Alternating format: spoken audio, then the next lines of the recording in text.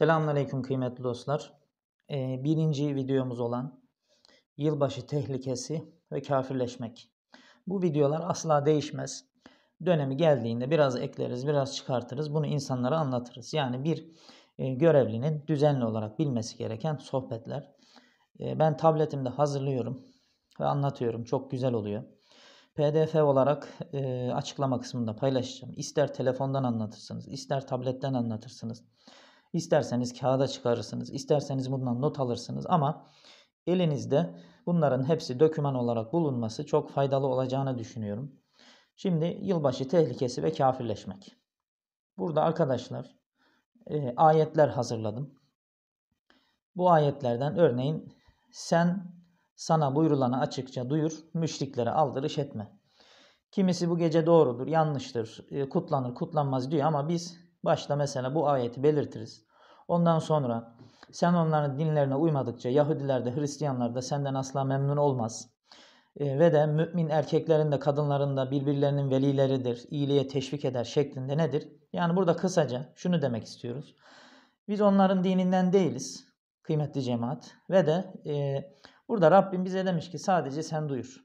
Ben size şöylesiniz böylesiniz demeyeyim. Ben sadece size duyurmakla görevli olan bir kişiyim. İster yaparsınız ister yapmazsınız ve de bizim asıl görevimiz, asıl gayemiz müminlerin, kadınların birbirini teşvik etmesi, uyarmasıdır gibi. Tabi bunu daha çoğaltabilirsiniz. Anlatıyoruz ve geçiyoruz. Ondan sonra hicri takvim ve miladi takvim arasındaki farklar. Neden e, biz hicri takvime önem veriyoruz, miladi takvime önem vermiyoruz diye burada işte hicri takvime göre bütün e, dini ibadetlerimizi, aylarımızı belirliyoruz. Efendimizin hicret ettiği günden başlar. Bu da Hz. İsa'nın e, doğumundan başlar diye şeklinde bu ikisini de cemaatimize güzelce önemini, değerini anlatıyoruz. Ondan sonra Müslümanlar yılbaşı kutlar mı kutlamaz mı? Bunu açıklıyoruz. Ee, yani yılbaşı kutlar mı kutlamaz mı burada zaten belirtmişiz.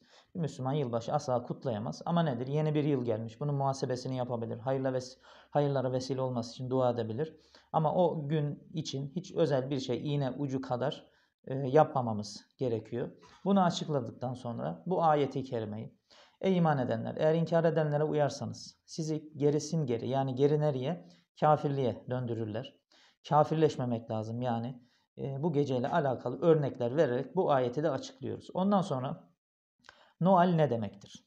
Yani Noel'in bir ibadet olduğunu, Hz. İsa'nın doğumuyla alakalı olan bir şey olduğunu ben e, ikisini de aşırı derecede okumuyorum. Burada da bunu anlatıyoruz cemaatimize. Ondan sonra da eğer inkar ederseniz şüphesiz Allah size muhtaç değildir fakat kullar için küfre razı olmaz.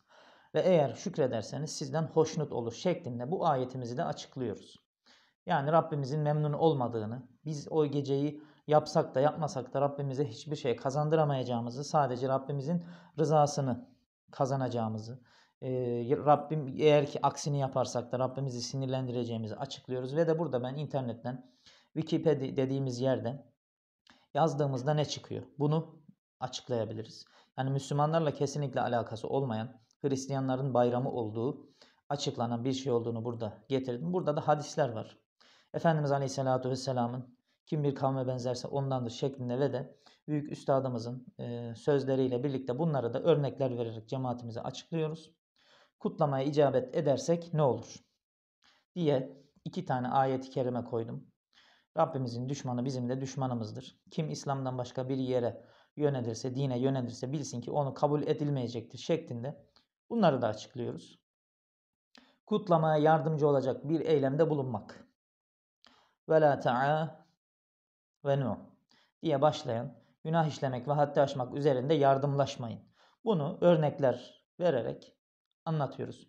Ve bu gecede yapılacak günahlar. Yani yılbaşı deniyor ama Allah Celle Celaluhu'nun yasaklamış olduğu envai çeşit günahlara girildiğini ayetlerden delil getirerek örneğin içki, kumar, dikili taş, falokları, şeytan işi olduğunu, bunların İslam dininde kesinlikle yasaklandığını bu ayette hepsi o gecede yapılacak hallerin, hasletlerin hepsi belirtilmiş. Bunları açıklıyoruz. Ve la takrabu zina mesela o gecede zina yapıldığını, bunu da Rabbimizin yasakladığını açıklıyoruz. İşin özü olarak da burada e, neticede şunu söyleyebiliriz. Bu geceyi kutlayanlarla alakalı, Müslüman olup kutlayanlarla, destek verenlerle alakalı buralarda güzel bir şekilde açıklama yaptım. Ve burada eee, bunları anlattıktan sonra işin özünü isterseniz eğer iki tane burada örneğin Ömer Hayyam ne demiş? Bir elde kadeh, bir elde Kur'an ne helaldir işimiz ne de haram. Şu yarım yamalak dünyada ne tam kafiriz ne de Müslüman şeklinde eee, acı bir gerçeği söyleyebilirsiniz. Burada da ona benzeyen bir eser var. Ömer Berber. Mehmet Akif Ersoy'a ait olduğu söyleniyor. Yalnız bunu ben araştırdım. Ömer Berber aitmiş. Bunları da söyleyebilirsiniz vaktiniz kalırsa. Kısaca bu şekilde bir sunum yaparak telefonunuzdan, tabletinizden veya kağıda dönüştürerek e, yılbaşını anlatabilirsiniz. Ondan sonra telefonunuzda, tabletinizde veya hard diskinizde, bilgisayarınızda bunu saklarsınız. Seneye ölmeyip de bu vakit geldiğinde tekrar hazır bir sunum arkadaşlar. Benim amacım tamamen siz kardeşlerime yardımcı olmak. Ama imkanınız varsa böyle bir tablet kullanmayı tavsiye ederim. Teknolojinin faydalarından, güzelliklerinden faydalanmak çok güzel. İnşallah faydalı da olacağını düşünüyorum. Hepinizi Rabbime emanet ediyorum. Allah'a emanet olunuz.